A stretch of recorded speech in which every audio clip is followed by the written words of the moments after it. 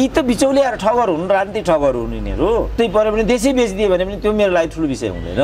भोलि देशै रहेन भने त तिम्रै पो के औचित्य हुन्छ यहाँ त्यहाँतिर गइरहेछ विषय। यिनीहरू त जे पनि गर्छन् भन्ने कुरा देखिन्छ। जापान त वस्तु त अहिले पनि अमेरिकी नियन्त्रणमा छ। कहाँ भयो श्रीलङ्का भनेर बोलिरहेको छ नि त नेताहरू त? कि त्यस्तो नकच्चर हुनु पर्यो त्यो म गर्न सक्दिनँ। विश्व एकल ध्रुवबाट बहु ध्रुवमा जान्छ। एमाले देखाउनु पर्छ भन्ने के छ? को एमाले भनेका छन् अनि त्यो कस्तो लोकतन्त्र हो त्यो? हरेक छ छ महिनामा चाहिँ मन्त्री बनाइरहेका हुन्छन्। को त्यसो भने तिनीहरू चाहिँ? एकदमै यो नेपाली लेखेको होइन भनिरहेको छ रोहित ती छन् उति छन् नि जिउँदो छन् रोहित। लन्डनमा बसेका सूर्य सुवेदी जस्ता पढे लेखेका मान्छे समेत यो षड्यन्त्रको चाहिँ शिकार हुन पुगे। यसमा चाहिँ मलाई अचम्म लाग्छ। अमेरिकन एक्टिभिटीहरू नेपालमा निकै नै बढेको आधिकारिकता हामीलाई चाहिन्छ। अमेरिकामा त यति महँगी छ अरे कि यो बिस वर्षमा त्यति महँगी अहिलेसम्म छँदै थिएन भन्ने छ। भने चाहिँ त रुसलाई नाकाबन्दी लगाउँछु भनेको त उल्टो अमेरिकामाथि ना नाकाबन्दी लाग्यो भने त्यहीँबाट देखियो नि त। सजिलो छैन। नेपाललाई हेपे जस्तो होइन नि त।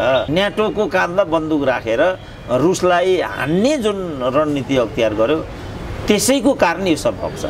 मुखर ढङ्गले आवाज दिनु पऱ्यो नि। सङ्घीयता भन्ने अनि यिनका छोरी बुहारी स्वाइनलाई मन्त्री बनाउने खेल हो सङ्घीयता भनेको।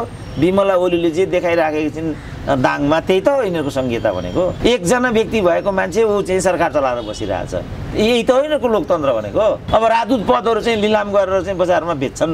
यही त हो यिनीहरूको विदेश नीति भनेको। जसले यो आवाज दिन्छ यो पद नपाएको रोदन भनिदिन्छन्। यही त हो यिनीहरूको लोकतान्त्रिक अभ्यास भनेको।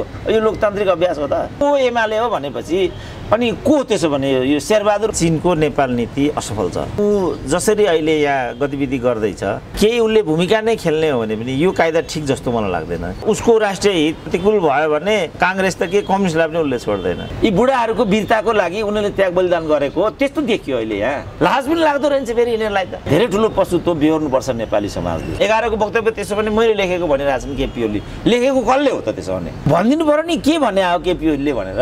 यदि यो नक्कली कुरा सिङ्गो देशले केपी ओलीलाई चाहिँ यसमा नङ्ग्याउँछ नि त।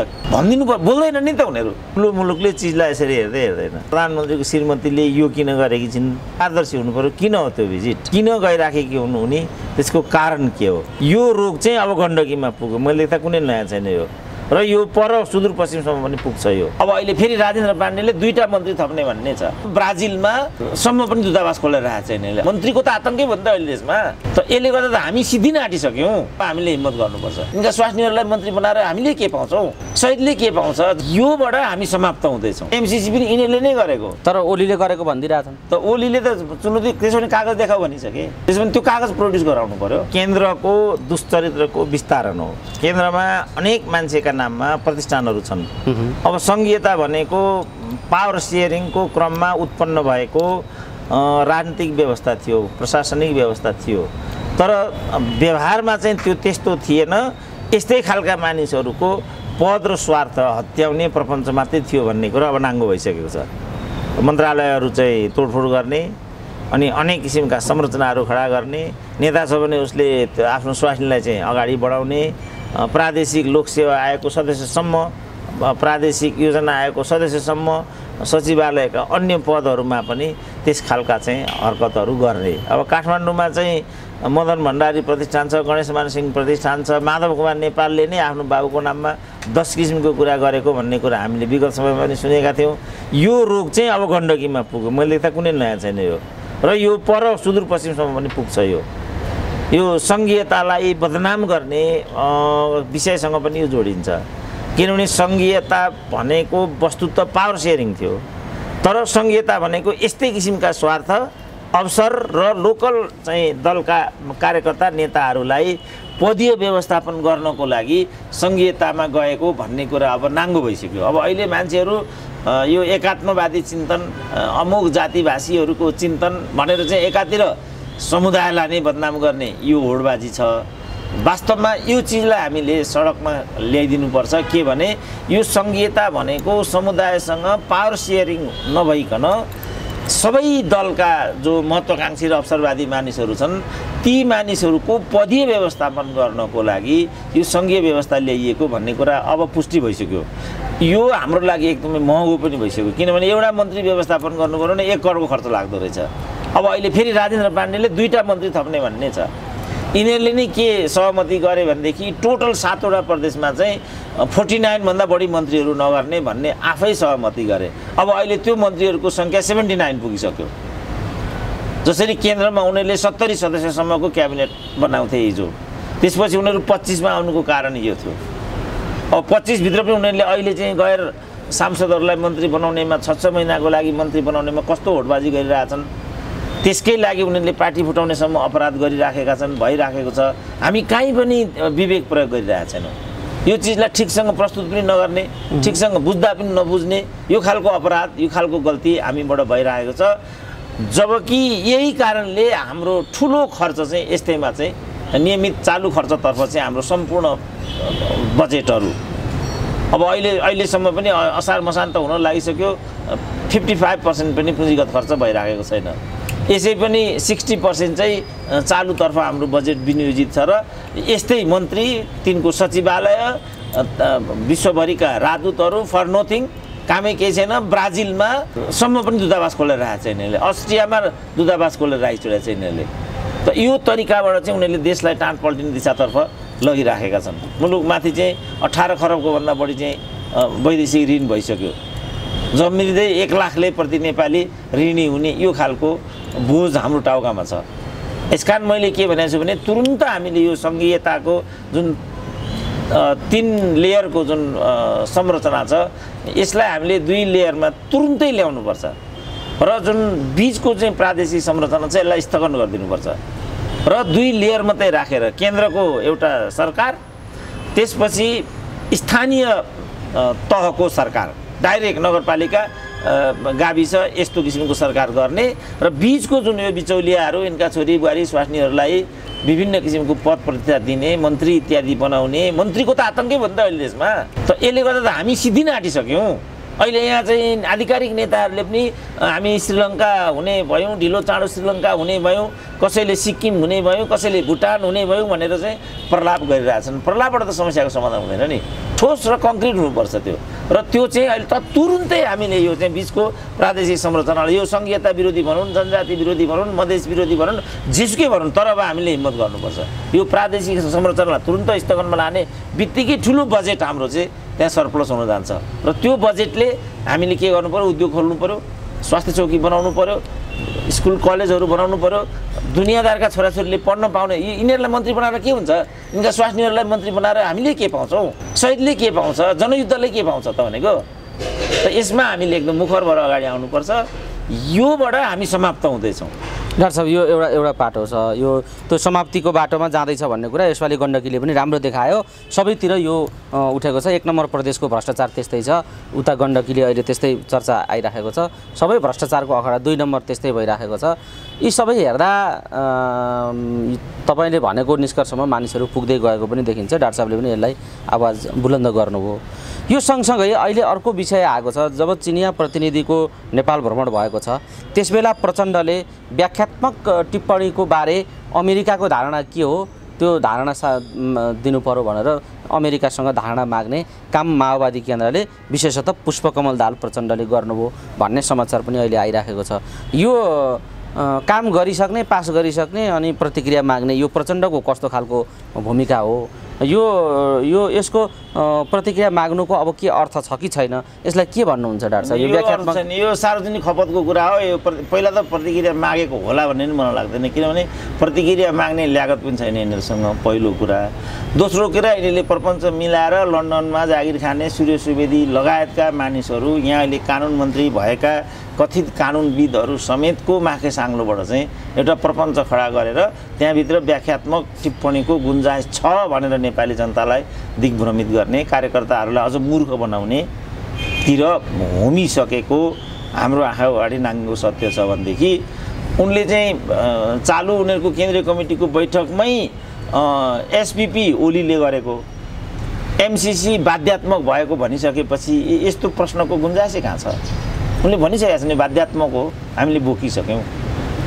एसपिपी ओलीले गरेको हामीले गरेकै होइन? अनि यसमा त केही कुरा त बाँकी नै छैन नि। जबकि एसपिपी पनि यिनीहरूले नै गरेको हो। एमसिसी पनि यिनीहरूले नै गरेको तर ओलीले गरेको भनिदिइरहेछन्। त ओलीले त चुनौती त्यसो भने कागज देखाऊ भनिसके। त्यसो भने त्यो कागज प्रड्युस गराउनु पर्यो। उनले त हामीले कमिटी बनाएर आउटराइट सरकारी तहबाट नै यो नो भनिसकेको भन्ने छ। तर विवादास्पद कुरा त्यहाँ छन् हाम्रो यो त्यति बेलाका परराष्ट्र मन्त्री प्रदीप ग्यावली एसपिपीमा उपस्थित भएको देखिन्छ। यी त बिचौलियाहरू ठगहरू हुन् राजनीतिक ठगहरू हुन् यिनीहरू। यिनीहरू स्वार्थको लागि उस्तै पऱ्यो भने देशै बेचिदियो भने पनि त्यो मेरो लागि ठुलो विषय हुँदैन। जो स्वाभिमानी कार्यकर्ता त्यहाँ कोही छ भने यही हो समय उनीहरू अगाडि आउनु पऱ्यो किनभने भोलि देशै रहेन भने त तिम्रै पो के औचित्य हुन्छ यहाँ त्यहाँतिर गइरहेछ विषय। यिनीहरू त जे पनि गर्छन् भन्ने कुरा देखिन्छ। यही समय हो हामीले मुखर ढङ्गले देश र जनताको पक्षमा विचारको पक्षमा जनयुद्धको पक्षमा सङ्घीयताको पक्षमा। मुखर ढङ्गले आवाज दिनु पऱ्यो नि। सङ्घीयता भन्ने अनि यिनका छोरीबुहारी स्वयंलाई मन्त्री बनाउने खेल हो सङ्घीयता भनेको। विमला ओलीले जे देखाइराखेकी छिन् दाङमा त्यही त हो यिनीहरूको सङ्घीयता भनेको। एकजना व्यक्ति भएको मान्छे ऊ चाहिँ सरकार चलाएर बसिरहेछ। यही त हो यिनीहरूको लोकतन्त्र भनेको। अब राजदूत पदहरू चाहिँ लिलाम गरेर चाहिँ बजारमा बेच्छन्। यही त हो यिनीहरूको विदेश नीति भनेको। जसले यो आवाज दिन्छ यो पद नपाएको रोदन भनिदिन्छन्। यही त हो यिनीहरूको लोकतान्त्रिक अभ्यास भनेको। यो लोकतान्त्रिक अभ्यास हो त। भिन्न मतलाई त्यसरी निषेध गर्ने लोकतन्त्रमा त्यस्तो हुन्छ बिचौलिया राखेर करका दार अनि दर हेरफेर गर्छन्। अर्थनीति। यिनीहरूको अर्थ राजनीति यस्तो छ। अनि देखिदिरहेको छौँ त हामीले सबै कुराहरू। अब यो कुरा अनि के यो पनि काल्पनिक कुरा हो पद नपाएको कुरा हो असत्य कुरा हो फलानाले चलाएको हल्ला हो त्यो जनार्दनले आफै भनिरहेछ। सिसी फुटेज चाहिँ एमाले देखाउनु पर्छ भन्ने के छ? को हो एमाले भनेका छन्? अनि त्यो कस्तो लोकतन्त्र हो त्यो? एमाले भनेको त अहिले त प्रमुख प्रतिपक्ष हो। उसले कुनै कुरामा चाहिँ नीतिगत भिन्नता देखायो भनेदेखि त्यसको त संयमित भएर पो सरकारले जवाफदेहिता लिनुपर्छ र को एमाले हो भनेपछि अनि को त्यसो भने यो शेरबहादुर भन्ने सरकार के वैधानिक त शेरबहादुरको त्यसो भने? साठीवटा सिट छ उनको मिलीभगत गरेर उनीहरू चाहिँ गैर सांसदलाई एक हरेक छ छ महिनामा चाहिँ मन्त्री बनाइरहेका हुन्छन् को त्यसो भने तिनीहरू चाहिँ? त्यो भन्न पाइन्छ कि पाइँदैन नागरिकले? अस्थिरता यो ओलीलाई हामीले निकाल्नुको कारण अस्थिरता हुन पुग्यो भनेर भनेका छन्। त्यसले अस्थिरता कि यसले अस्थिरता हो त्यसो भने? छ छ महिनामा मन्त्री बदल्नु चाहिँ अस्थिरता कि केपी ओलीले जे हरकत गरिरहेको थियो त्यो अस्थिरता? त यो एउटा काल्पनिक एउटा मानिसमा आरोप लगाउनुपर्छ मानिसमा आलोचना गर्नुपर्छ त्यसमा मलाई केही पनि भन्नु छैन। तर वास्तविक आलोचना हुनु पऱ्यो नि त। जस्तो अहिले कुरा आयो त जस्तो प्रतिगामी भन्ने कुरा आयो। शेरबहादुर प्रतिगामी कि केपी ओली प्रतिगामी? अब अहिले कुरा आयो नि त उनीहरूको चाहिँ यो जुन वैशाख एघार गतेको वक्तव्यको कुरा आयो। वैशाख एघार गतेको वक्तव्य मैले ड्राफ्ट गरेको भने उनले। एक शब्द बोलेका छैनन् उनीहरू। सेभेन पार्टी यसमा जो जोडिएको कुरा छ नि त। भनिदिनु पऱ्यो नि के भने आयो केपी ओलीले भनेर। यदि यो नक्कली कुरा सिङ्गो देशले केपी ओलीलाई चाहिँ यसमा नङ्ग्याउँछ नि त। भनिदिनु पर्यो बोल्दैन नि त उनीहरू। एसपिपी उनीहरूले गरेको एमसिसी उनीहरूले गरेको भन्छन्। एघारको वक्तव्य त्यसो भने मैले लेखेको भनिरहेछन् केपी ओली। लेखेको कसले हो त त्यसो भने? हिजो बाह्र बुँदे चाहिँ इन्डियनहरूले हिन्दीमा लेखेका थिए यिनीहरूले नेपालीमा मात्रै अनुवाद गरेको वास्तवमा यो नेपाली लेखेको होइन भनिरहेको रोहित ती छन् उति छन् नि जिउँदै छन् रोहित। खुद भनिरहेछ उनले। के हो त्यो कुरा त्यसो भने? भन्नु पऱ्यो नि त। भन्दैनन् उनीहरू। अब कहाँ उनीहरूलाई के खड्किन्छ के गर्नुपर्ने हुन्छ अनि मात्रै भन्छन् एमसिसी ओलीले गरेको एसपिपी फलानाले गरेको यस्तो भन्दै। यसले गर्दा त मुलुक त मिसलिड हुने भयो। लोकतन्त्रमा त मुलुकलाई त मिसलिड गर्न त पाइँदैन नि। त्यो अधिकार कसैलाई पनि हुँदैन नि त। त्यस कारण लोकतन्त्र भनेको पारदर्शिता हो। मैले भने नि लोकतन्त्र भनेको पारदर्शिता र यसमा जवाबदेहिता चाहिन्छ। यसमा चाहिँ गैर जिम्मेवार भएर यो- प्रणालीलाई हाक गर्न पाए मलाई अचम्म के लाग्छ भने लन्डनमा बसेका सूर्य सुवेदी जस्ता पढे लेखेका मान्छे समेत यो षड्यन्त्रको चाहिँ शिकार हुन पुगे। यसमा चाहिँ मलाई अचम्म लाग्छ। यी यिनीहरू त राजनीतिको लागि जे पनि गर्ने हुन् स्वार्थको लागि जे पनि गर्ने भनौँ न अब टनकपुर है गिरिजाले खुल्लम खुल्ला गरेर आएका थिए। टनकपुर सम्झौतै गरे उनले। होइन यो समझदारी हो। पहिलो त गरेकै छैन भनेर ढाँटे। त्यसपछि रेखरेखती पारिसकेपछि सन्धि होइन सम्झौता हो समझदारी हो भन्न पुगे। अदालतले सन्धि नै हो भनिदियो। जिम्मेवारी लिनुपर्छ भन्ने कुरै भएन। आखिरी नेपाली काङ्ग्रेस विभाजनको शिकार हुन पुग्यो। इतिहासबाट किन सिक्दैनन् उनीहरू पटक पटक दलहरूले यस्तो कुरा गरिराखेको छ। अहिलेको पिँढीले त युवा पिँढीले त यसमा त आफूलाई खरो उतार्नु पऱ्यो नि त। यी बुढाहरूको वीरताको लागि उनीहरूले त्याग बलिदान गरेको त्यस्तो देखियो अहिले यहाँ। उनीहरू पनि नबोल्ने त्यो यिनीहरूको गलत भूमिकाको कारणले त अनि त्यहाँ बालन शाहहरू आइराखेका छन्। त्यो त प्रतिक्रिया हो नि त। लाज पनि लाग्दो रहेछ फेरि यिनीहरूलाई त। त यो खेदजनक छ। यो समय उपयुक्त छ। युवा पिँढी अगाडि आउनुपर्छ। बौद्धिकहरू मिडियाहरू अगाडि आउनुपर्छ। मिडिया पार्टिसन हुनु हुँदैन बौद्धिक पार्टिसन हुनु हुँदैन नागरिक समाज पार्टिसन हुनु हुँदैन भनेर म पटक पटक भन्थेँ नि त। अब अहिले त बिचरा ये कहाँ सुनिन्छ त केही? नत्र पनि जस्तो जनार्दनले जे गरे यो केपी ओलीका पालामा कुन चाहिँ थियो त्यो युवराज खतिवडा भन्ने चाहिँ अथवा विष्णु पौडेल भन्ने अर्थमन्त्रीले यो गरेको भए यो सडकमा हिँड्न सक्थे यिनीहरू अकुपाइड बालोटार हुन्थ्यो त्यहाँ। कृष्ण पहाडीहरू चुप लगाएर बस्थे अहिले जस्तो खोइ त देवेन्द्रराज पाण्डेहरू। खोइ मानव अधिकार अहिले खोइ लोकतन्त्र अहिले। त यो लोकतन्त्र सिद्ध्याउने संस्कार हो यो मैले देख्दाखेरि चाहिँ। तर उनीहरूले यही चिज चाहिँ अमुक मान्छेको टाउकोमा हालिदिएर जुन किसिमको अभ्यास गर्न पुगे त्यो मैले देख्दा खेदजनक छ। त्यसमा हामीले मुखर बनाउनुपर्छ आफूलाई र दुधको दुध पानीको पानी। त्यहाँ पोजिसन नबनाउने हो भने धेरै ठुलो पशुत्व बिहोर्नुपर्छ नेपाली समाजले। डाक्टर साहब यही चिन्ता व्यक्त गर्दै अब यिनीहरूबाट हुँदैन। यिनीहरूलाई दण्डित गर्नु पनि जरुरी छ बदल्नु पनि जरुरी छ भन्ने मनोविज्ञानबाट अहिले आउने निर्वाचनमा स्वतन्त्र उम्मेदवार घोषणा गर्ने व्यापक एउटा लहर चलेको छ। काठमाडौँका लगभग सबै क्षेत्रमा उम्मेदवारी घोषणा गर्ने कुरा भइराखेको छ स्वतन्त्र उम्मेदवारहरू आइराखेका छन्। यसमा तपाईँलाई पनि त्यो पङ्क्ति एउटा स्वतन्त्र समूहहरूले आग्रह गरिराखेको डाक्टर साहबलाई पनि एउटा निश्चित क्षेत्रमा उम्मेदवारी गर्नु दिनु पऱ्यो डाक्टर साहब भनेर त्यो समूहले तपाईँसँग भेटघाट गरिराखेको भन्ने खबर पनि बाहिर सुन्न पाइन्छ। बताउनुहोस् त यो तपाईँको सम्भावना कति छ? उठ्ने निर्वाचनमा यसपालि निर्वाचनमा उम्मेदवारी दिने सम्भावना कति छ? यस्ता समूहका साथीहरू तपाईँसँग कतिको संवाद चलाइराखेका छन् बताउनुहोस् अब यो जिस्क्याउने काम गर्नु भएन किनभने स्वतन्त्रको नाममा जुन किसिमको ट्रेन अहिले आइरहेछ उनीहरू चाहिँ औपचारिक रूपमा विचार विमर्शमा आइरहेको मलाई मलाई सूचना छैन मलाई जानकारी छैन। उहाँहरू आफू आइरहनु भएको छ। ए- यो व्यक्तिवादी प्रवृत्ति हो र यो प्रवृत्तिले वाञ्छित परिणाम दिँदैन भन्ने मेरो पोजिसन हो। केही मेरा शुभचिन्तकहरूले चाहिँ अब अगाडि आउनुपर्छ यही बेला हो यसरी खालि विचार मात्रै दिएर पनि हुँदैन अब नीति निर्माणको तहमा पुग्नुपर्छ र चाहिँ घोषणा गर्नुपर्छ भन्ने केही शुभचिन्तकहरूले मलाई भनिसकेका छन् र पहिला मैले एउटा टकमा भनेको पनि थिएँ आवश्यक परे पनि म आउनु पनि सक्छु। किनभने नआउने भन्ने कुरा केही छैन। सबै शुभचिन्तकहरूले साथीभाइहरूले चाहिँ अगाडि बढ्नुपर्छ र यो विधिबाट जानुपर्छ भन्दा त्यसलाई निषेध गर्ने मसँग हैसियत हुँदैन। किनभने म पनि साथीहरू भित्रै हुँ साथीहरूकै हुँ। म मात्रै अ, सर्वे सर्वा र म कुनै जङ्गबहादुर होइन। मेरो बारेमा मैले मात्रै निर्णय गर्न सक्ने भन्ने कुरा आउँदैन। तर म एउटा राजनीतिक एउटा प्रवृत्तिबाट हुर्किएको त्यो खालको सोचाइ मेरो भएको हुनाले विचार र सिद्धान्त प्रधान हुन्छ। स्वतन्त्र भए पनि उसँग विचार र सिद्धान्त अन्तर्गत स्वतन्त्रले पनि विचार र सिद्धान्तबाट नै परि परि परिलक्षित हुनु जरुरी हुन्छ। त्यसले नै सङ्घीयतालाई कसरी हेर्ने सांसदलाई कसरी हेर्ने संसदीय व्यवस्थालाई कसरी हेर्ने धर्मलाई कसरी हेर्ने अरू कुराहरूलाई कसरी हेर्ने विश्व व्यवस्थालाई कसरी बुझ्ने भन्ने सोच र दृष्टिकोण त स्वतन्त्रलाई पनि त आवश्यक पर्छ होला नि त। त्यस कारण त्यो चिज चाहिँ विचार र सिद्धान्तले मात्रै दिग्दर्शित गर्छ भन्ने मेरो चाहिँ दृढ विश्वास भएको हुनाले ठिक छ नि त। साथीहरूको बिचमा एउटा एलायन्स खडा गरौँ न त। यताबाट रमेश खरेल भनिरहेछ उताबाट रवि लामिछाने भनिरहेछ परबाट अर्जुन परसाई भनिरहेछ कहाँबाट को भनिरहेछ? एलायन्स त बनेन नि त हाम्रो। उहाँहरू खुरुखुरु व्यक्तिगत रूपमा उम्मेदवारी खडा गर्ने। अनि मेरो उम्मेदवारी मैले भन्नुपर्ने। के यो के खालको यो यो त साँच्चै नै स्वतन्त्र यो व्यक्तिवादी खालको स्वतन्त्र हो भने त अनि त्यसले के नतिजा दिन सक्छ त भोलि? त्यस कारण कि त्यसो भने एलायन्स बनाऊ न त पहिला।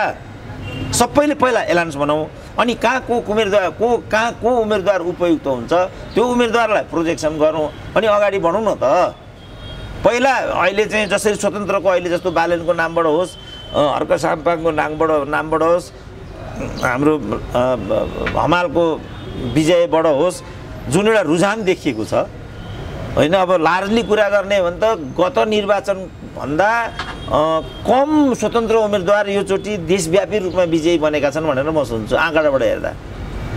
पहिलो अडचालिस सडचालिस अडचालिसतिरको आम निर्वाचनमै पाँच सातजना त स्वतन्त्रले नै जितेका थिए त। स्वतन्त्र भन्ने कुरा नयाँ छैन। तर स्वतन्त्र भनेको अहिले एउटा आइडियोलोजीको रूपमा आइराखेको छ।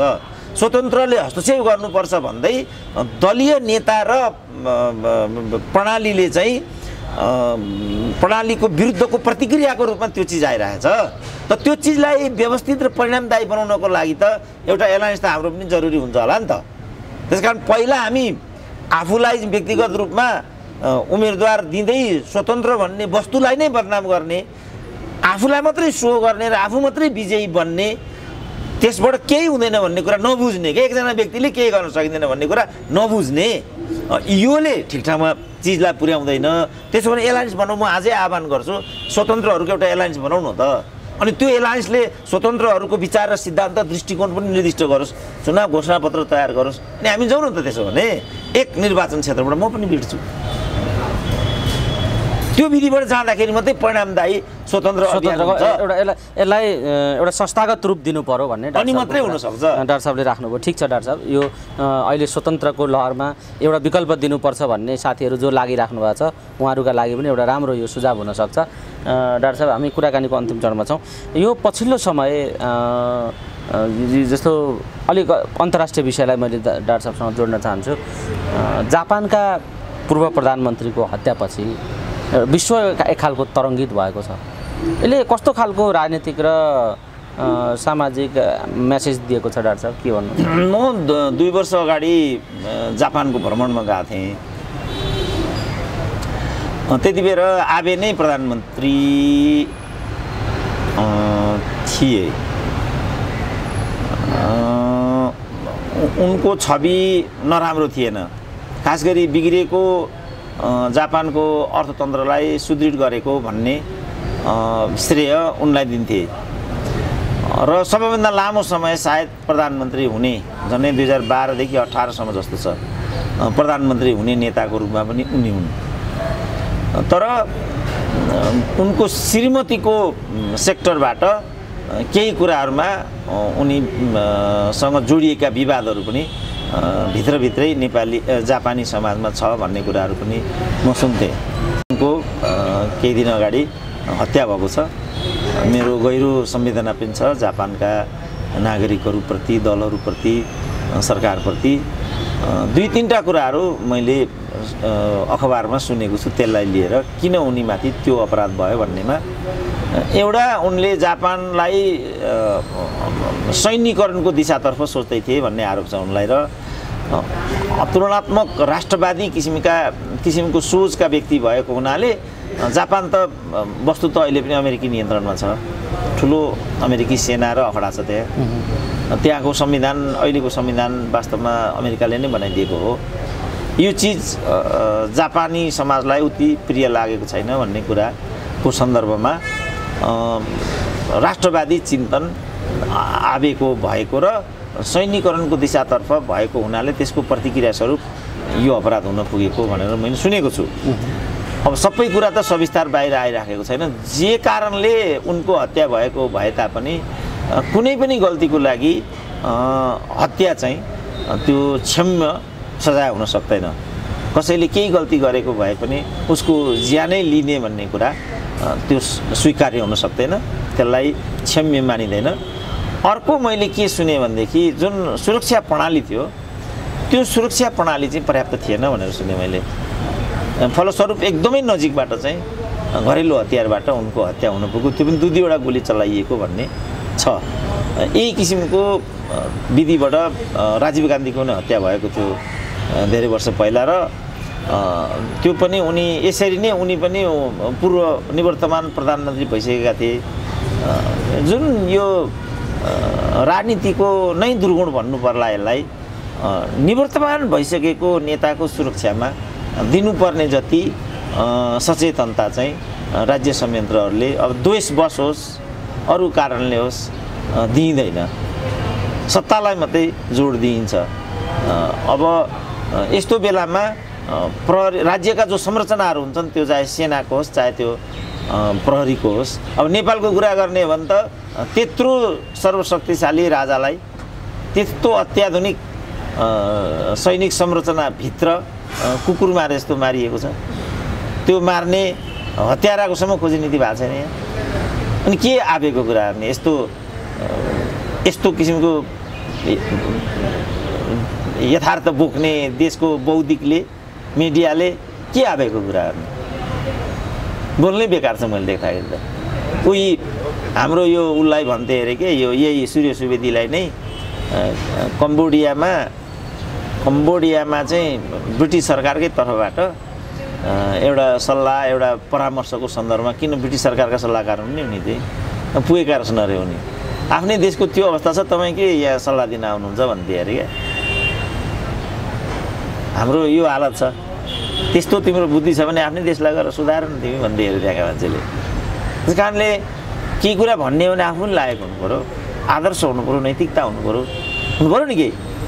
त्यस कारण हामी योभन्दा बढी भन्न सक्ने ल्याकत राख्छौँ भन्ने मलाई लाग्दैन। कि निर्लज हुनु पऱ्यो यिनीहरू जस्तो? बजेटको करको दायरा चाहिँ हेरफेर गर्दै हिँड्नु पऱ्यो अनि ठुलो ठु- उल्टो ठुलो कुरा के हो फलानु भनेको भन्दै कि आफू एसपिपी गर्ने यो ओलीले गरेको के भन्दै? कहाँ भयो नेपाललाई आर्थिक घाटा? कहाँ भयो श्रीलङ्का भनेर बोलिरहेको छ नि त नेताहरू त? कि त्यस्तो नकचर हुनु पऱ्यो त्यो म गर्न सक्दिनँ। श्रद्धा गहिरो श्रद्धाञ्जली छ। आबे एकजना अत्यन्तै प्रतिष्ठित नेता हुन् जापानका। सौभाग्यले मैले संयोगले मैले जापानको पनि भ्रमण गरेको हुनाले मेरो त्यो कुरासँग अलिकति फिलिङ पनि छ जापानी जनताहरूसँग। अहिले मैले उनीप्रतिको श्रद्धाञ्जलीको मैले एउटा हुल पनि देखेँ जापानी जनताहरूको। त्यसले मलाई भावुक जस्तो पनि बनायो। त्यस कारणले यी परिदृश्यहरू आबेको हत्याको सन्दर्भमा मानसपटलमा आउँछन्। वास्तविक के भएको छ त्यो हेर्दै जानुपर्छ र सत्य पनि बिस्तारै आउँछ होला। अनि थप श्रृङ्खलाहरूमा हामी यसमा बढी भन्न सक्छौँ। अहिले मलाई लाग्छ योभन्दा बढी भन्न सक्ने स्थिति छैन। डाक्टर साहब यो एउटा पाटो हो। अहिले अन्तर्राष्ट्रिय रूपमै अर्को चर्चाको विषय रुस युक्रेन युद्ध किन लम्बियो? यसको कारण के हो भन्ने धेरै ठुलो जिज्ञासा अहिले बढेर गएको छ विश्वमा। यो रुस र युक्रेनको युद्धले विश्वयुद्धको सङ्केत पनि तर्फ उन्मुख गरेको छ। किनभने अब युक्रेनपछि तुरुन्तै यो युद्ध अर्को ठाउँमा स्थानान्तरण हुनेछ भन्ने खालको चर्चा पनि एक थरी गरिराखेका छन् भने यो किन लम्बिएको छ भन्ने नै एउटा जिज्ञासाको विषय बनेको छ। यसलाई कसरी हेर्नु भएको लम्बिनीको कारण त प्रष्टै छ यो। न्याटो र अँ, रसियाको कुरा भयो यो। रसियालाई सजिलै दबाउँछौँ भन्ने न्याटो पक्षधर अमेरिकीहरूको बुझाइ थियो। त्यो गलत सिद्ध भयो। त्यति मात्रै भएन। पुटिनले खुल्लम खुल्ला के चुनौती दियो भने खबरदार हामीलाई चलायो भने तेस्रो विश्वयुद्ध त के संसार विनष्ट गयो भने हामीलाई मतलब छैन भनेको छ उनले। र नेटोसँग फिनल्यान्ड होस् स्विडेन होस् जोडिने कुरा भयो भने त्यो पनि क्षम्य हुँदैन भनेको छ। र नाङ्गो ढङ्गले पुटिन बाहिर आएका छन्। अब किन पुटिन नाङ्गो ढङ्गले बाहिर आइराखेका छन्? यसमा न्याटोको के- मैले जति पनि युरोपका साथीहरूसँग मेरो विचार आदान प्रदान हुन्छ यसमा चाहिँ कमै मात्रै मान्छेले रुसको गल्ती देखाएका छन्।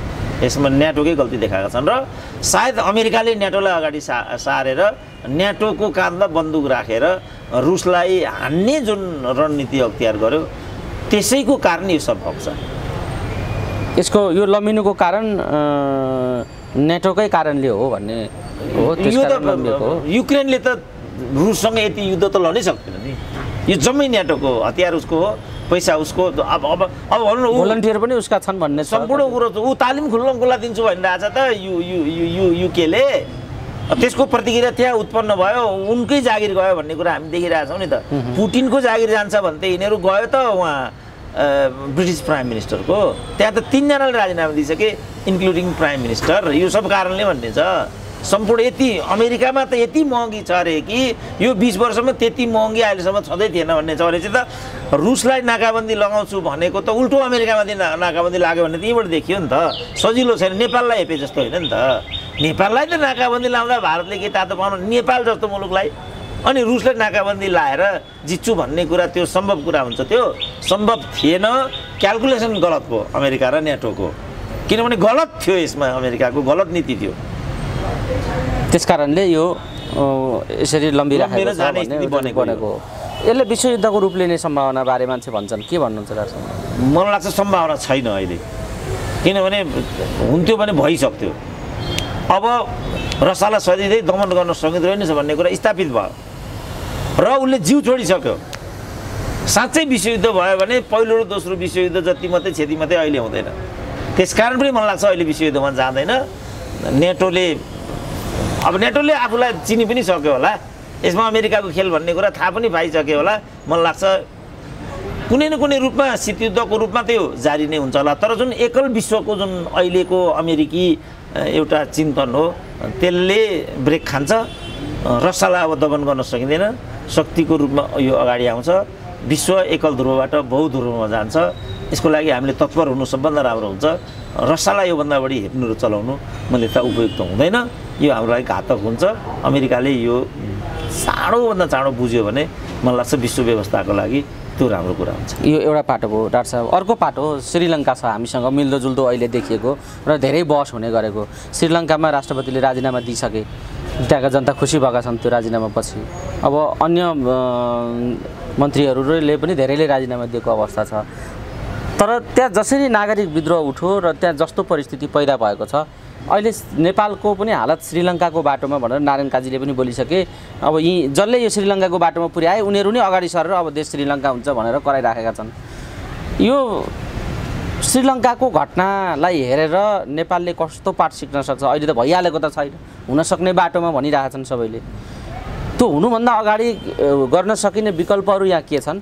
र श्रीलङ्काबाट के पाठ सिक्ने श्रीलङ्काको अवस्थालाई लिएर के भन्नुहुन्छ डाक्टर साहब? अब यो चाहिँ वस्तु तथा सेवाका लागि छ महिनाको क्षमता मात्रै हामीसँग छ भन्छन् यिनीहरू। अब त्यसो भन्न थालेको पनि दुई महिना त बितिसक्यो। अब दुई महिना बितिसक्यो। अब अर्थशास्त्रका ज्ञाताहरूले वास्तवमा यस्तो गैर जिम्मेवारी अभिव्यक्ति नदिएको भए राम्रो हुन्थ्यो र यस्तो यसको वस्तुनिष्ठ व्याख्या गरिदिए राम्रो हुन्थ्यो। प्रतिपक्षमा भएकाहरू जम्मै श्रीलङ्काको बाटोमा भन्छन् इन्क्लुडिङ युवराज कतिवटा पक्षमा भएकाहरू जम्मै अहिले नै त्यो खतरा छैन भन्छन् इन्क्लुडिङ दिपेन्द्र बहादुर छेत्री।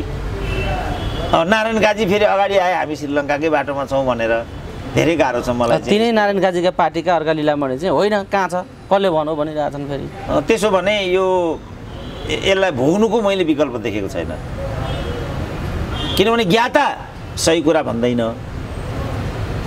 अनि अल्पज्ञानीहरू स्वार्थअनुसार बग्दै हिँड्छन्। अनि झेल्नुको विकल्प भयो त हामीसँग म त क्याटेगोरिकल्ली केही पनि भन्न सक्दिनँ। साहब हामी कुराकानीको अन्तिम चरणमा छौँ। जाँदा जाँदै जे परिदृश्य र अवस्थाहरूबारे अवस्थाहरूका बिचमा हामी उभिएका छौँ र स्थिति यहाँ आइपुगेको छ। यसलाई मध्यनजर गर्दै आम दर्शक श्रोताहरूलाई जाँदा जाँदै भन्नुपर्ने कुरा चाहिँ के छ डाक्टर साहब भन्नुपर्ने कुरा के छ भने हामी सचेत हुनु पर्यो जागरुक हुनु पर्यो सूचनाहरू ज्ञानहरू विवेकहरू विवेकको दायरालाई अलिकति विस्तारित गर्नु पर्यो सोसियल मिडियालाई दुरुपयोग गर्ने छाडा बोल्ने अपशब्द बोल्ने अर्काको चरित्र हत्या गर्ने व्यक्तिगत कुरामा जाने अङ्ग प्रदर्शन गर्ने यही बोल्ने सो भन्ने खालको जुन एउटा अत्यन्तै आभारा गर्दै अहिले सोसियल मिडियामा हाबी देखियो नि। यो काम हामीले गर्नु भएन। सृजनशीलता विवेकशीलता आफूलाई उठाउनु पर्यो नि अब त। कहिलेसम्म यसरी ब्याकवार्ड भएर बसिरहने? मैले अन्त्यमा भन्नुपर्ने कुरा यही छ। हवस् डाक्टर साहब समय दिनुभयो। यो समय र संवादका लागि धेरै धेरै धन्यवाद।